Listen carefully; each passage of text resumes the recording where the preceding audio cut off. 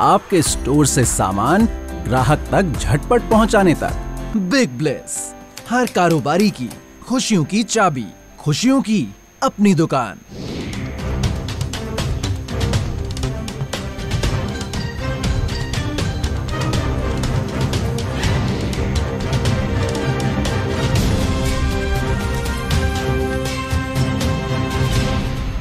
मार्च में भारत के पाम तेल के आयात में पिछले महीने के मुकाबले 18.7 फ़ीसदी का उछाल आया है।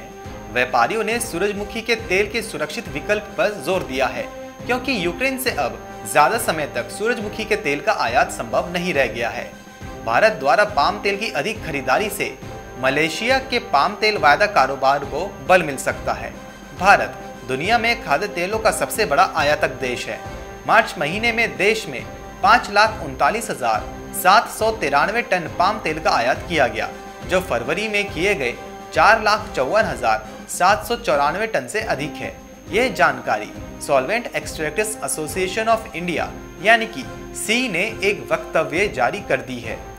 वक्तव्य में कहा गया है कि भारत ने मार्च में दो लाख बारह हज़ार चार सौ चौरासी टन सूरजमुखी तेल का आयात किया था, जो फरवरी में किए गए एक लाख बावन हज़ार दो सौ बीस टन से अधिक है।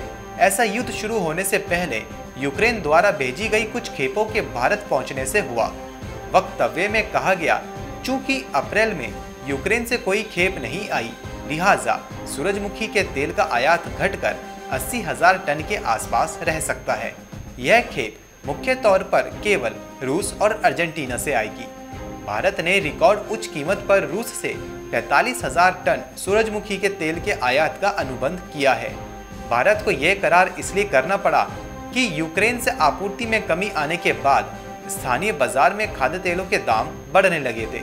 सी ने कहा कि देश में सोयाबीन तेल का आयात फरवरी के तीन लाख छिहत्तर हज़ार पाँच सौ चौरानवे टन के मुकाबले घटकर मार्च में दो लाख निन्यानवे हज़ार चार सौ इक्कीस टन रह गया।